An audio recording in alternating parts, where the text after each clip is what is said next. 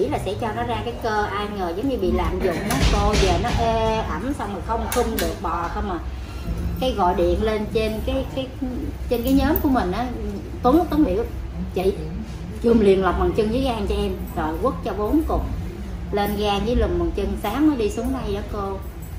Trường gan rất là hay, gan nó sẽ bơm máu, nó làm cho mình không có bị đau cái cơ.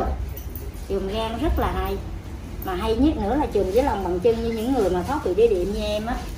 Nó cực kỳ hay.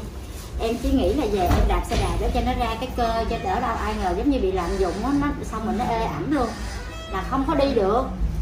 Cái em gọi điện lên cái nhóm của em trên đây xuống trường gan liền chị.